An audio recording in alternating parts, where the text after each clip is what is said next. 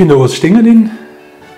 Gegenwärtig bin ich tätig äh, einerseits als Dozent am SBT und andererseits zu 50 Prozent in der Gemeinde für Christus als Lehrpastor.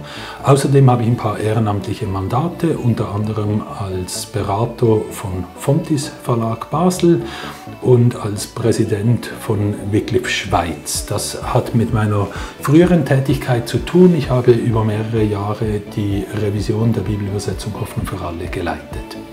Ich bin gerne hier am SBT freue mich an der Arbeit zusammen mit den Studierenden und es ist für mich ein ganz großes Privileg, in ihnen die Liebe zu Gottes Wort zu wecken und ihnen Rüstzeug mit auf den Weg zu geben, um in Gottes Wort in die Tiefe zu graben. Mein ganz persönlicher Ratschlag an die Studierenden, lest die Bibel, aber es ist trotzdem eben unmöglich, auch nur ein Wort von der Bibel zu verstehen, ohne die Entscheidung auch danach zu leben.